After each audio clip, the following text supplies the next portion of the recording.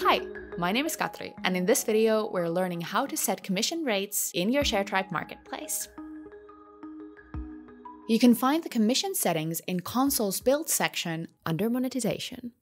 There, you can configure two commission percentages provider commission and customer commission. The provider commission is deducted from the transaction price and paid for by the provider, as the name suggests.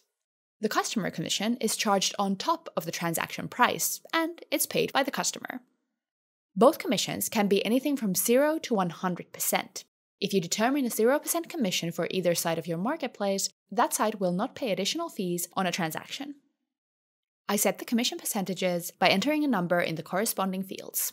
First, I will set a 20% provider commission and a 10% customer commission, and save changes. Next, let's see how your users experience the commission fees.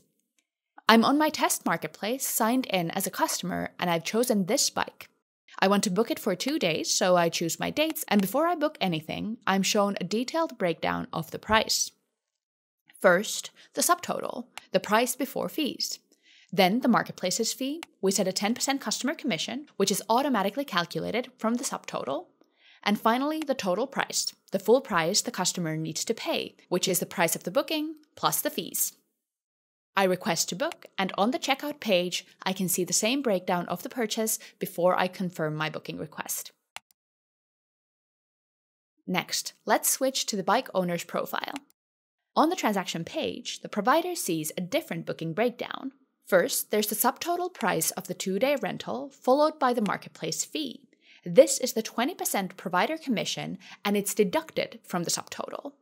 After that, the provider can see how much money they will make on the transaction after the platform fee. The customer and provider will see different breakdowns. The customer is not made aware of the provider's commission, and the provider does not get to see the customer's commission to your marketplace.